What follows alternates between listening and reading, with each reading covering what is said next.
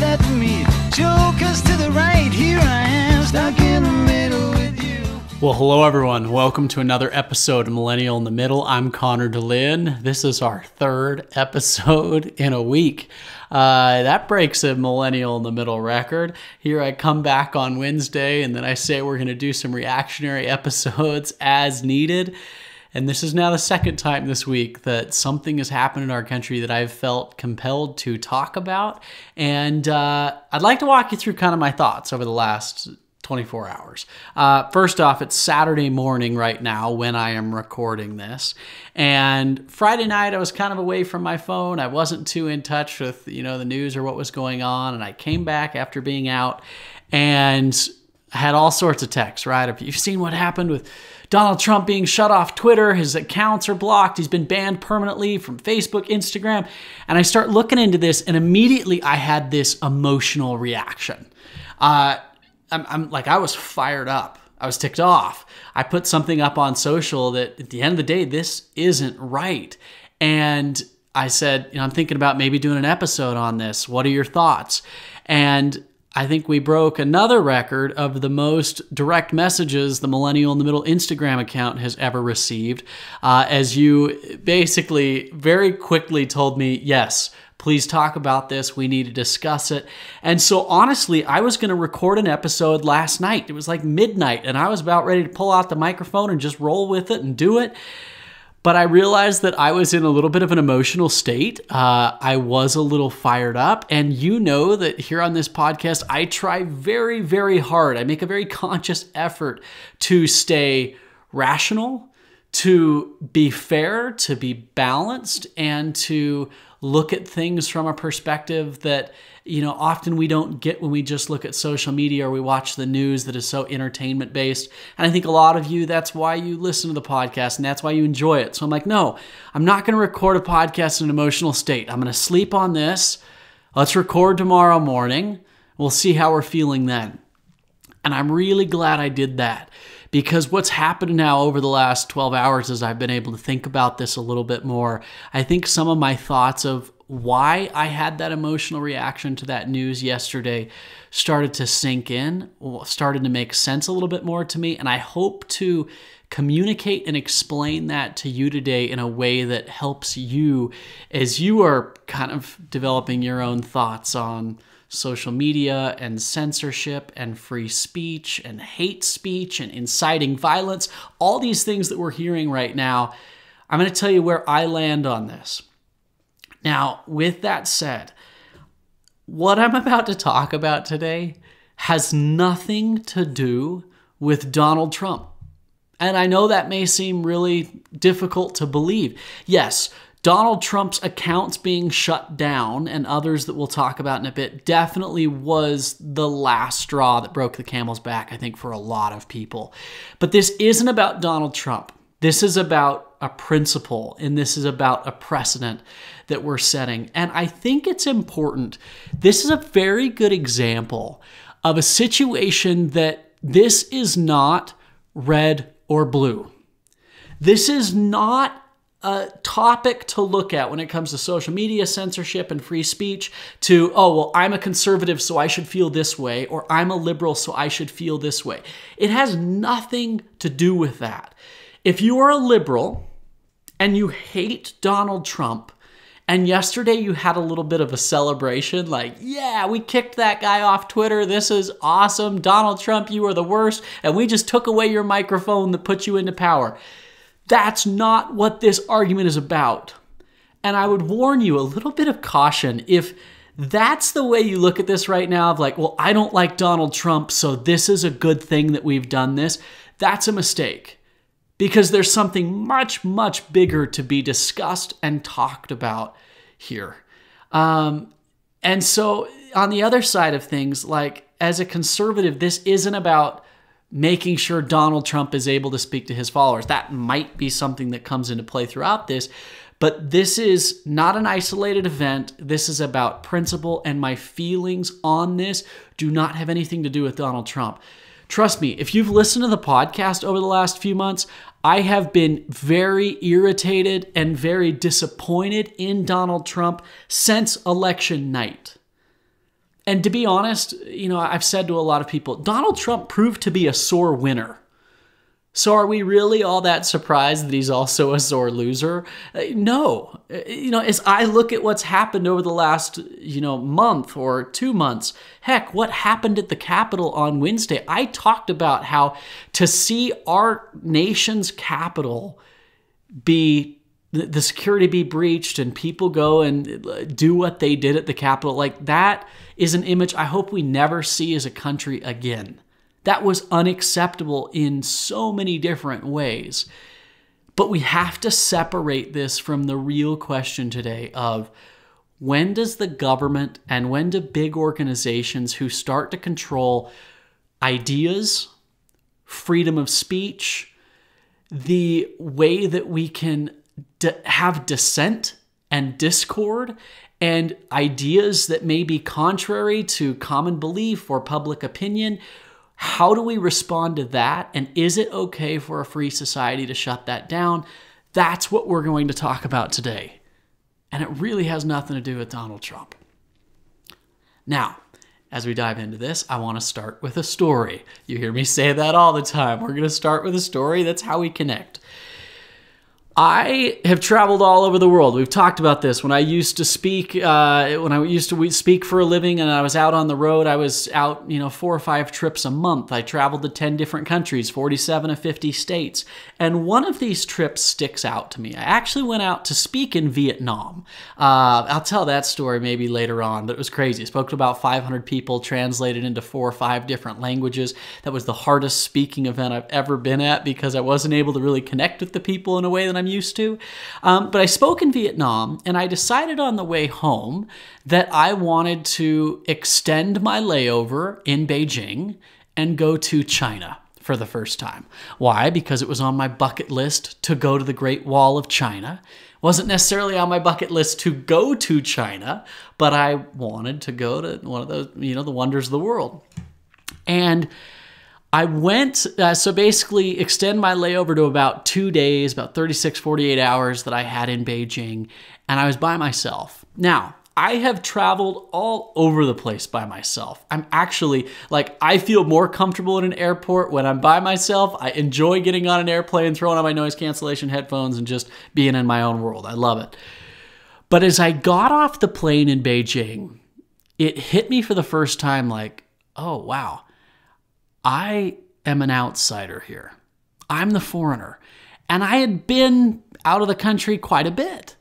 But in all the times I'd been out of the country, I, I, felt like people were more so trying to, you know, help me out or they wanted to talk to me because I was an American. And let's face it, I stick out like a sore thumb a lot of times, especially in Asia, like this blonde guy walking around. And typically, I mean, I'll tell you, all my other experiences in Asia, I almost get looked at like I'm a Hollywood celebrity a little bit. Like, oh, look at that hair. I got people wanting to take pictures with your hair. Didn't happen in China.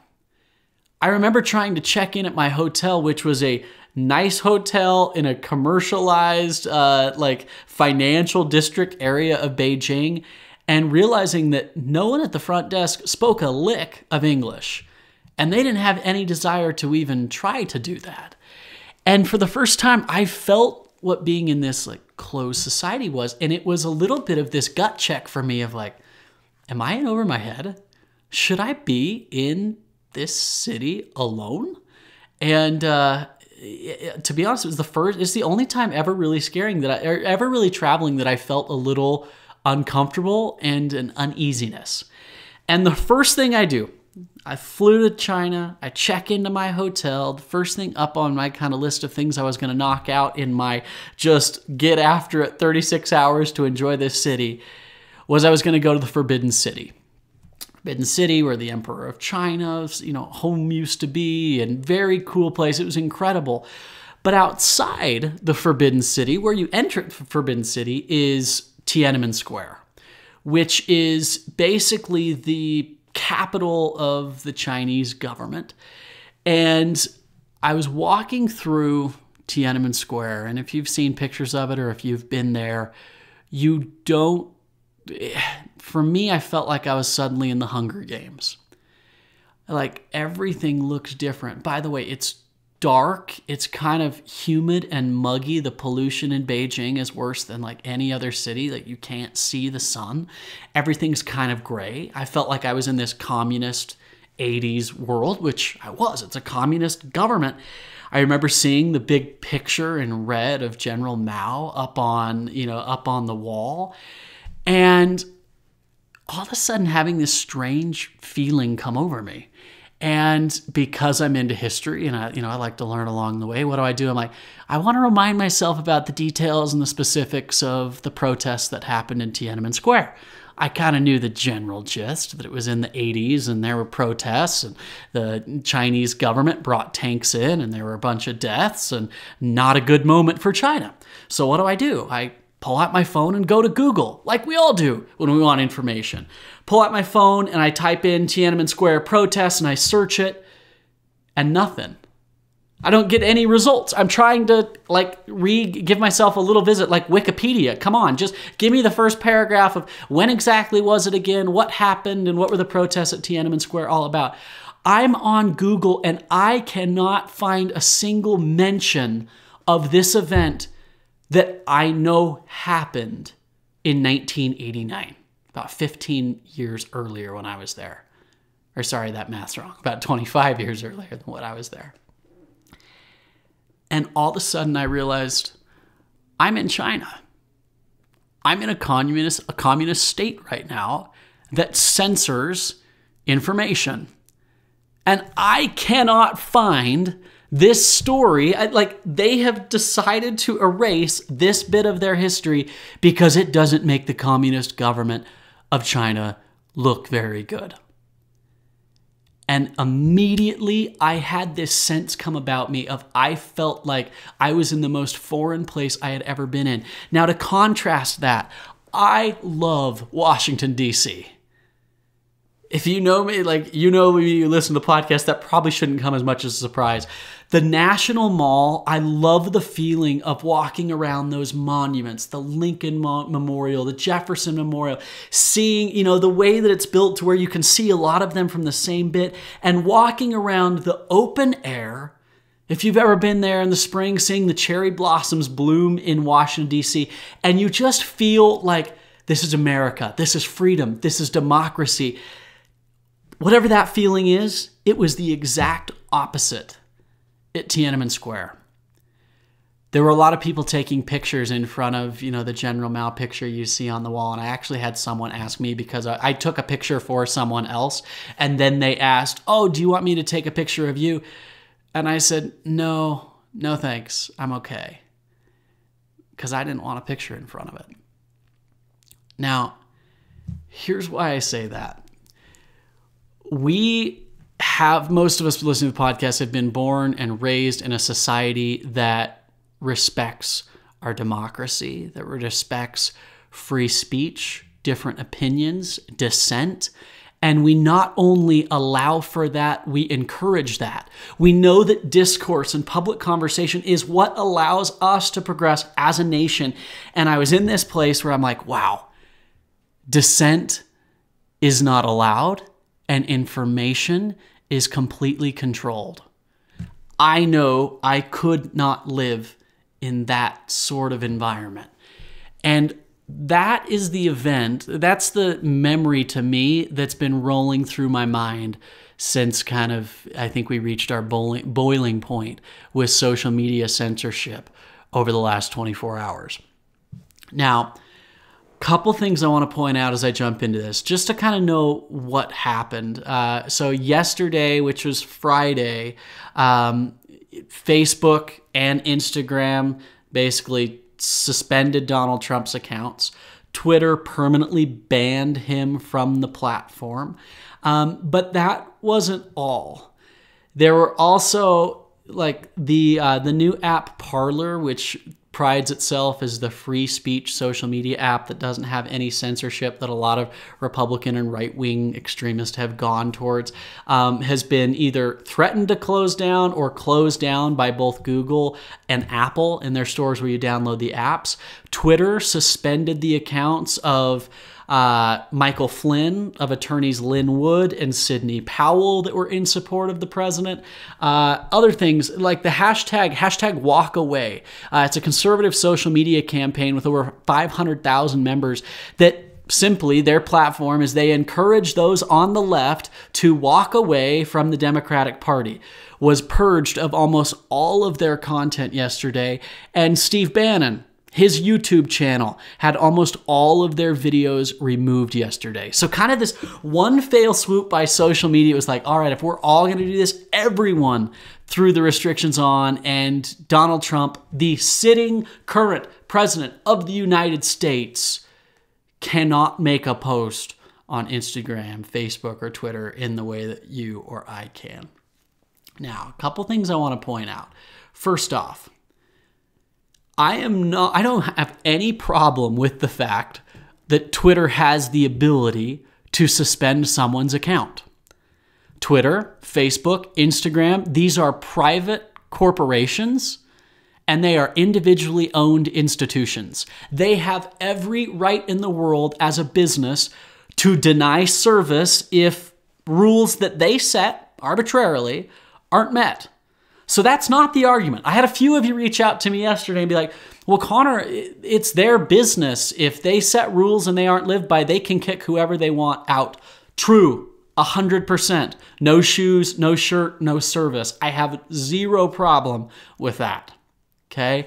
And, frankly, from Twitter's standpoint, I think there's got to be a little personal animosity here, right? Because Twitter is what propelled Donald Trump to the presidency.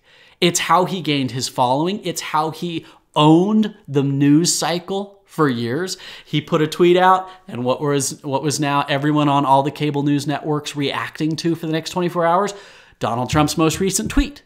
And then the breaking news and headline changed the minute Donald Trump tweeted again. And it was this new sort of immediacy and a closeness to the president and the government that we never experienced before. Like Twitter is an amazing tool for that. It is really cool that Alexandria Ocasio Cortez or Ted Cruz can be sitting in a Senate hearing and can put out a message typed on their phone that in five seconds everyone in the world can read. And I can read exactly what comes out of Ted Cruz or AOC's mouth right then and there. I believe that is a great thing for democracy. I believe it's a fantastic thing for free thinkers because it takes out the middleman. In the past, we really couldn't hear, you know, prior to radio, there was no hearing exactly what the president said. You would read the newspaper, which would have excerpts from a speech that the president gave. And of course, what comes along with that newspaper article? Opinions, ideas, spin. That's what we've done. Franklin Delano Roosevelt, he changed the way that the president spoke to the American people with his fireside chats. Because Americans throughout the country were able to sit in their living room and hear the voice of their president on the radio. Direct channel Twitter is just an evolution of that same theory, but it's so much faster, it's so much more content. And if I think about it, if I'm the owner of Twitter and I don't like Donald Trump or I'm a liberal or whatever it might be, you might really hate the fact that you know that the platform that you created is what gave Donald Trump the power that he's had over the last four years. And I could see if now it's like, oh man, I'm so done with that guy. I don't want to be tied. This is my last chance. He's got 10 days left in office. We have this capital threat that's taken place, this capital riot and protest. So because of that, I'm going to have the last word. Donald Trump, we don't want your business anymore. I'm okay with that. The end of the day, like Donald Trump will figure out how to talk to the American people. Okay. Uh, oh, and by the way, uh, I had a pretty interesting take from uh, a partner that I'm going to talk about a little later. We're actually going to be partnering with uh, a new brand, a new blog called Pot and Kettle Politics. Uh, you've probably seen some of their articles in some of my social stuff, but you'll see a lot more of them. He's going to help with a lot of kind of the research and things that I'm doing on more of these reactionary episodes. But he actually said to me last night, he said, uh, he said, Connor, I, I wonder if they would have shut down Donald Trump's accounts in September if Trump wins the election. And I thought, man, that's so, it's such an interesting thought, such a great take, Austin. Because my thought was, yeah, if all of a sudden, right before election day, the powers that be shut down Donald Trump's account, it's almost that like, well, if we can't have it, then that's exactly what I want. If they're shutting him down, then maybe that guy's on to something. I think it would have backfired, and I think it's probably why they didn't do it. Now, the other point I need to make here is the difference between there's several different reasons for things being taken off of social media within the community guidelines. Some of it has to do with hate speech, threats, things that are leading to direct violence. And then the other side is this whole argument of trying to protect America from misinformation. From, you know, no doubt, social media allows for fake news to be circulated and to be sent from person to person. And is that a dangerous thing? Sure, right? If a lot of people are believing false information, absolutely. There's a couple problems, though, inherently with those two pieces. Who decides what is hate speech and what can actually lead to violence? And who decides what is misinformation and what is fake news? Whoever now is making those calls wields a lot of power. And in my opinion, way too much power. Now, it's also really hard to draw the line of where someone, you know, where a tweet is actually a direct cause of like violence, right? You look at Trump tweets, and yeah, there's some that you definitely could read through the lines and be like, oh, yeah, maybe this is going to be violent coming up. When he talks about we can't be weak, we need to be strong, we need to take it back, this is our time. Like, yeah, that's pretty forceful language. But at the same time, you see a tweet that says, We're about to go to the Capitol we're about to peacefully and patriotically protest the election being, uh, the election being uh, confirmed. And I sit there and go, Well, who, who's making that decision? Well, all the riots that happened this summer. Some of those riots turned violent, but I don't know if I can blame the person that posted on social media about the rally for that. I wouldn't take down that post. Now, if someone says, hey, we're going to go and we're going to kill Nancy Pelosi, yeah, that shouldn't be there. That is, that's where free speech draws that line where we need to be protected. You can't yell fire in a crowded movie theater. We know this. But at the same time, if someone on Twitter tweets, I'm about to go and kill a cop. That better be taken down too. And so, from this middle perspective, the issue becomes when a lot of this is one sided. When a lot of this, you know, it's hard to know, well, who really holds the chips here? Who's the one that's controlling this power of information, uh, you know, the power of controlling information? And here's where these problems come. Now, the hate speech, yeah, if it is inciting violence, if it is, uh, you know, it's hard. Again, does this just rile people up to do that? Or are you specifically saying that? It's a line that is extremely hard to draw. And these social media platforms drew it yesterday. To me, where I have the bigger issue is in these social platforms taking on taking upon themselves the charge to protect America from misinformation from harmful information that goes against common belief Facebook said this. Facebook said they removed content and accounts that violated our policies against inciting violence and dangerous organizations in the lead up to January 6th, and we're continuing to monitor and remove dangerous content. Okay, like I'm all right with that. I can swallow that a little easier. Again, it raises the question well, remove dangerous content? How do we define dangerous? But this next comment, this is from a Twitter spokesperson. This is the one that really, really scares me. And I think it should scare you too. A Twitter spokeswoman, a person said that they had taken enforcement action on thousands of accounts that were attempting to undermine the public conversation and cause real world harm. What the hell does that mean? Undermine the public conversation? That's Twitter's spokesperson saying that yesterday.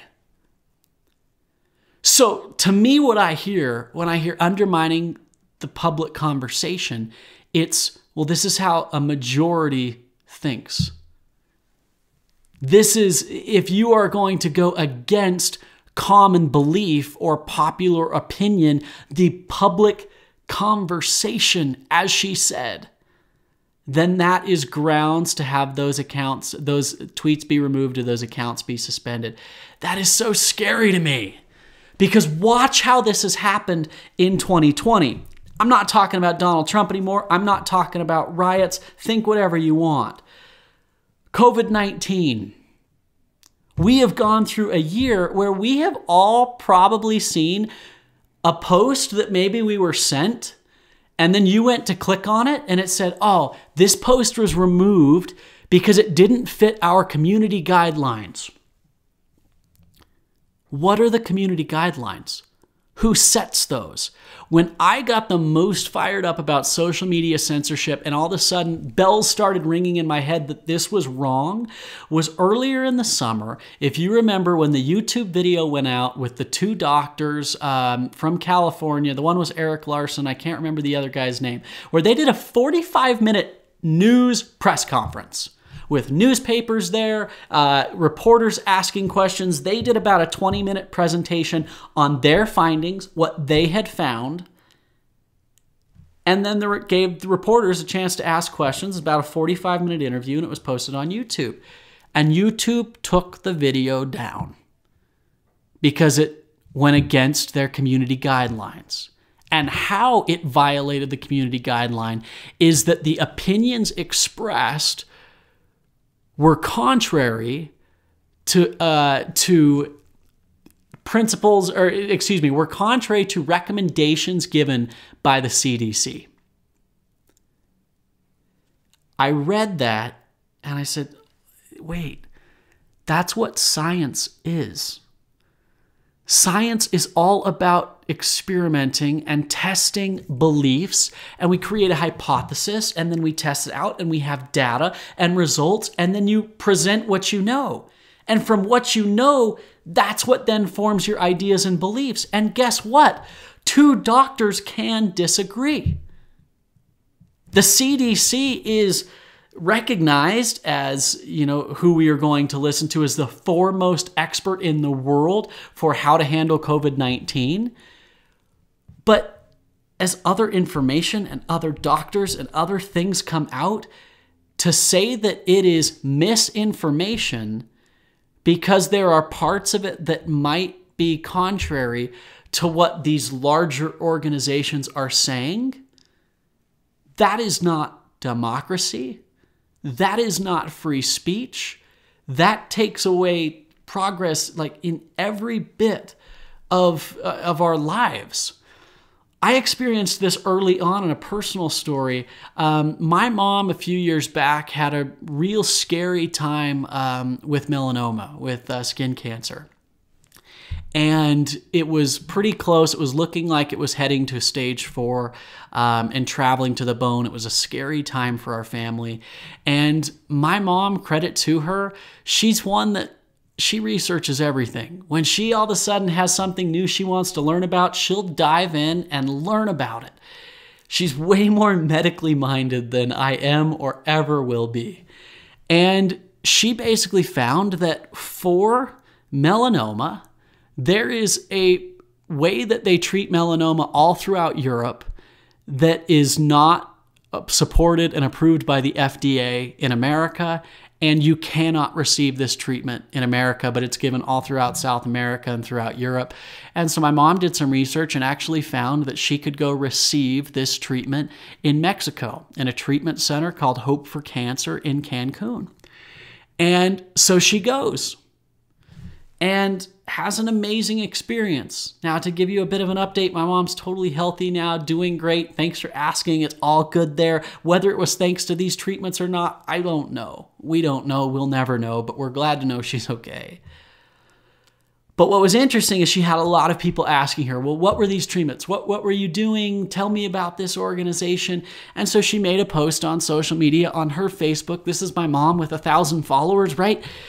Makes a post and posts a picture with the gentleman who uh, started this clinic and was the head researcher and the head doctor that is pretty world renowned for cancer treatment. Um, Dr. Tony Jimenez is his name. I think it's Jimenez. I hope that's right. Dr. Tony, I just know is what my mom calls him.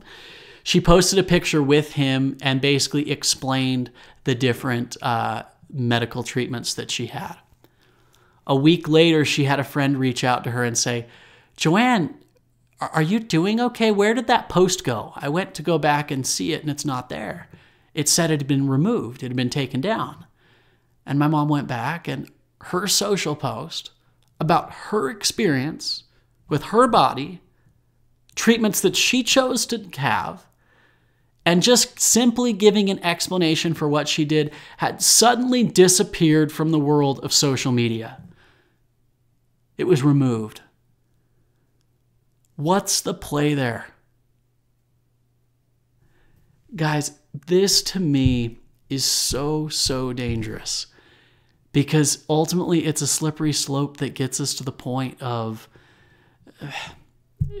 when we can't trust that the information that we have that we're getting the full story that is a direct threat to our democracy the new york times put out an article yesterday new york times gave a headline that said is free speech a threat to our democracy and I read that headline and I said, man, that's an oxymoron.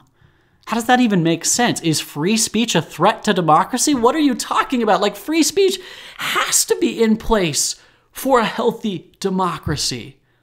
But that is something that we're debating right now in the post, they went and they took law professors and different legal scholars uh, from different from both sides of the spectrum and kind of gave their thoughts. And I loved what Robert Post said. He is a Yale law professor, and he said this: "A functioning democracy requires both that citizens feel free to participate in the formation of public opinion and that they are able to access adequate, accurate information about public matters." Insofar as it protects these values, the First Amendment serves as a crucial tool of self governance. In the absence of self governance, government is experienced as compulsion, as being told what to think and what to do, and that is not a desirable situation. I could not agree more with that post right there there is information that the minute we are feeling like we are being protected from, now self governance is lost because I'm being told what to think. Now, I'm about to do something here toward the end of this episode that I'm honestly really hesitant to do. I, as a general rule, you know that I am not an extreme guy right? This podcast is millennial in the middle. I am fair. I'm commonsensical. I try to be very rational. I hate hyperbolic arguments. I hate arguments that, you know, try to get you fear a certain idea or a certain belief by giving this really extreme, scary, exaggerated example. And then you're like, oh, yeah, because of that, we should do it. It's prevalent on social media. I stay away from it. But I'm about to give you an example here of the slippery slope that we're on that I don't want you taking, having a takeaway that is about to say what, you know, a takeaway that's too extreme. Just listen to me straight. I told you I love DC. If you ever go to DC and you haven't been there before and you want a list of things to do in a few days, I'll tell you. My favorite museum in all of Washington, D.C. is the National Holocaust Museum. Here's why.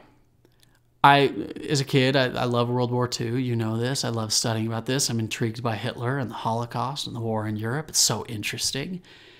But the question was, how does that happen?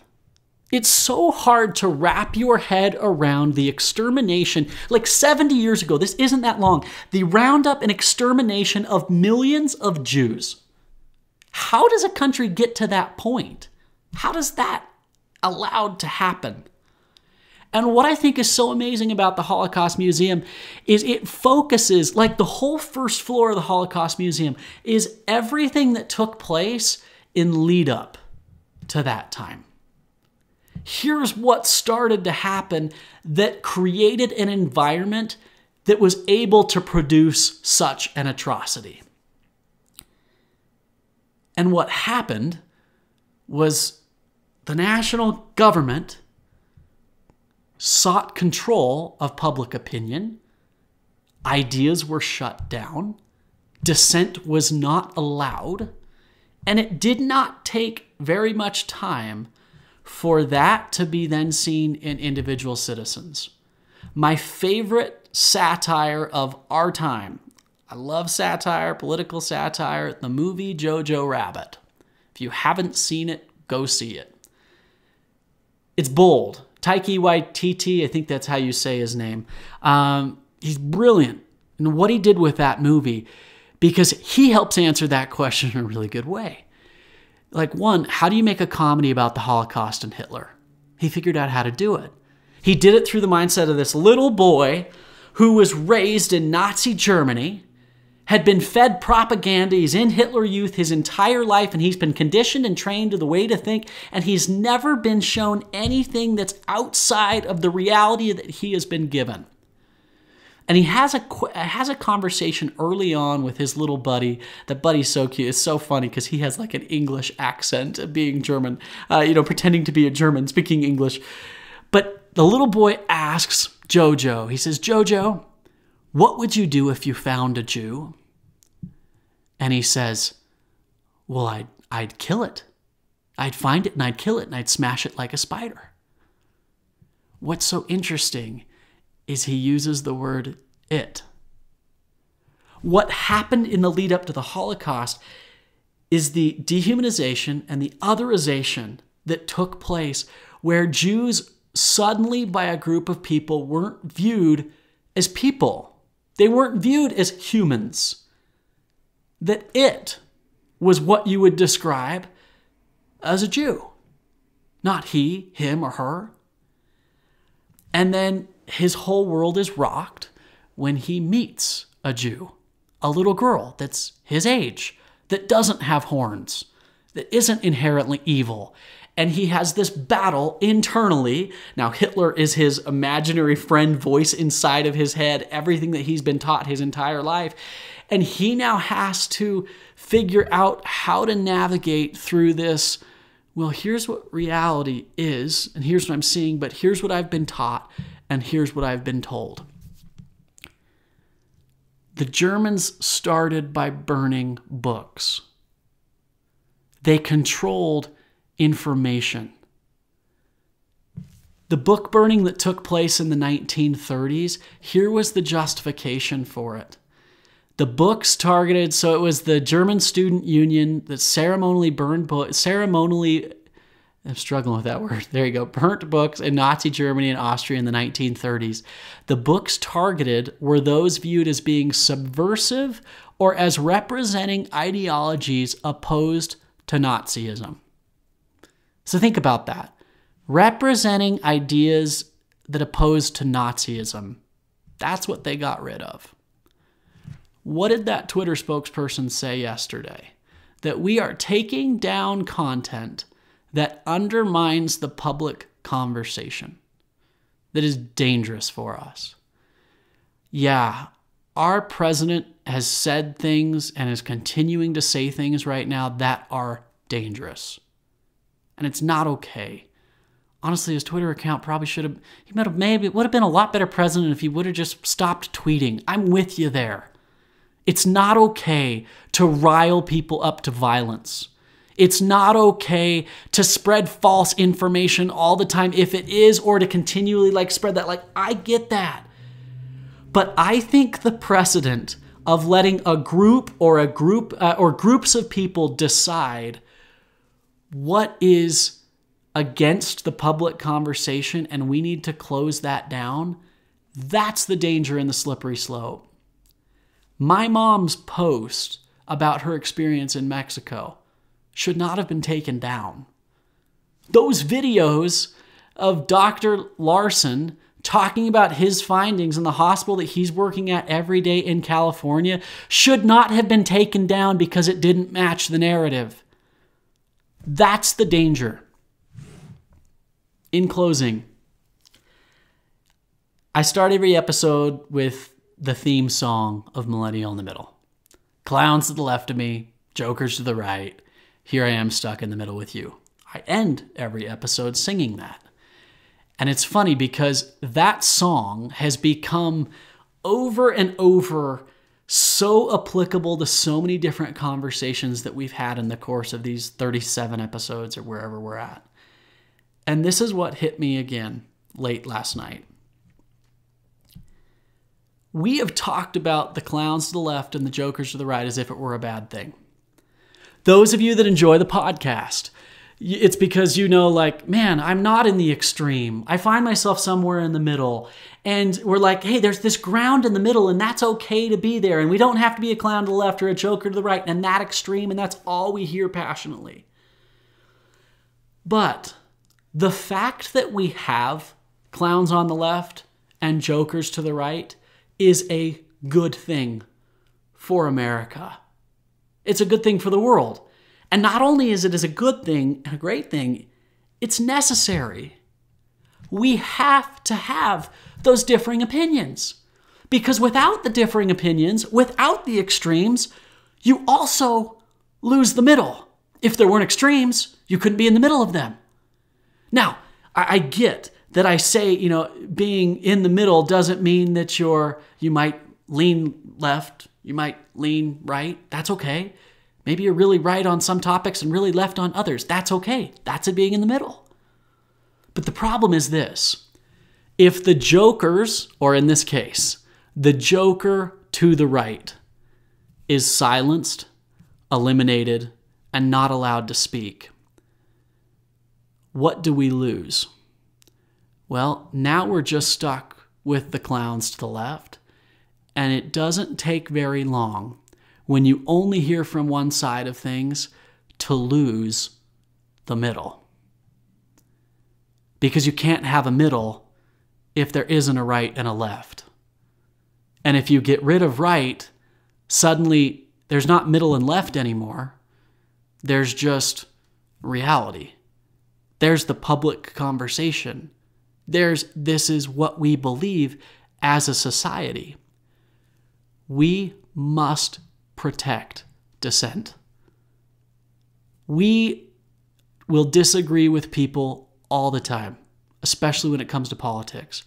But I would hope that we fight for people's ability to disagree with us. That's why I love this podcast because we bring people on with different perspectives, mindsets, backgrounds, ideologies, and we give them a place to speak a lot of times. And I hope that you enjoyed listening to people that are different from you. And maybe you completely disagree with them, but I hope what we can always agree on is our right that we have to disagree with each other. And the minute that is lost, that's when democracy is lost. I'm fired up about this. Uh, I'm really struggling with this. And you know what? There's time where you got to draw a line in the sand. We saw these social platforms do this yesterday. What what's the takeaway from this? Ultimately, where I struggle more than anything else is seeing certain politicians right now in full support of sh- shutting down and silencing people that don't agree with them. Because this isn't a red or a blue matter. This is a matter of protecting free speech, which leads to progress. Anyway, I hope you've enjoyed this. We'll be back. Who knows? Maybe something will crap, uh, crazy will happen today, and you'll hear an episode from me tomorrow. It's, it's 2020. You thought we were, or 2021. You thought we were to get a break. Looks like not. Until next time. Clowns to the left me, jokers to the right. Here I am, stuck in the middle with you. Hang in there, guys. Clowns to the left me, jokers to the right. Here I am, stuck